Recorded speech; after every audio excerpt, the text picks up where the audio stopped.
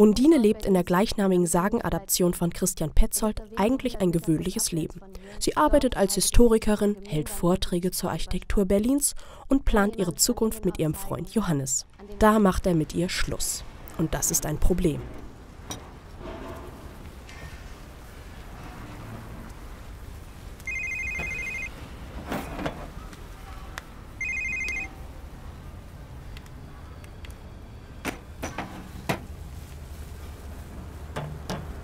War sie das?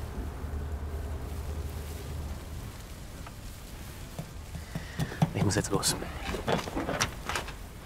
Du hast gesagt, dass du mich liebst. Für immer. Undine, bitte. Denn ein Fluch besagt, dass Undine den Mann töten muss, der sie hintergeht, um dann ins Wasser zurückzukehren. Doch Undine ist eine moderne Frau und will sich der Vorherbestimmung nicht beugen. Und als sie auf Christoph trifft, ist Johannes schnell vergessen.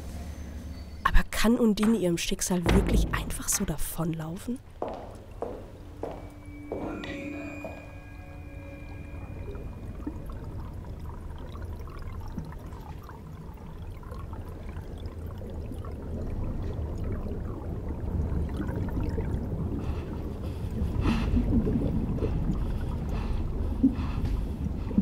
Entschuldigung.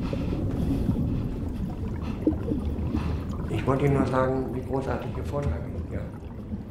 Ich bin meistens unter Wasser, ich bin Industrietaucher und ich tauche hier die Brückenköpfe ab und jetzt hole ich mir einen Kaffee und da dachte ich, vielleicht hätten Sie gerne einen Kaffee während Ihrer Pause.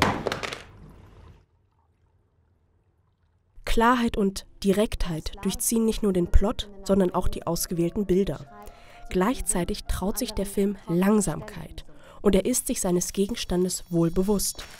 Undine ist eine Sagenfigur, welche eigentlich in unserer modernen Realität keinen Platz mehr hat.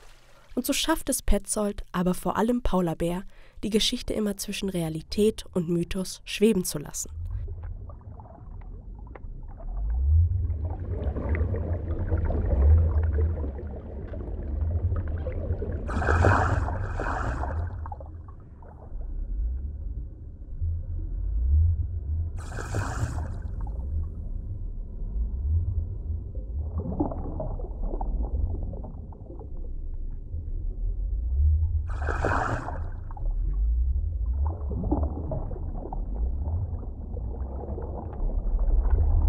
Welche besondere Beziehung Petzold zur architektonischen Geschichte Berlins hat und warum das unbedingt in den Film rein musste, leuchtet mir zwar nicht ganz ein, aber auch das verpackt Paula Bär als Undine charmant und unaufdringlich.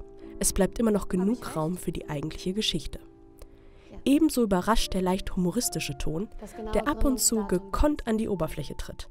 Das löst ein bisschen die Ernsthaftigkeit und so kann sich Undine klar vom oft steifen deutschen Kino abgrenzen zu Recht ausgezeichnet mit dem Silbernen Bären für Hauptdarstellerin Paula Bär.